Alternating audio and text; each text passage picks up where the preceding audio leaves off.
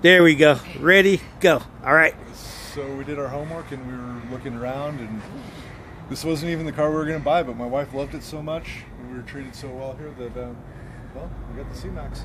And we wouldn't ever think of getting anything else. Thank Yeah. you, Ford of Upland. And who's your rep? The best rep in the world? The re- best rep in the world is JB. Yeah! I JB. feel good. Thank you. Like I knew that I would now.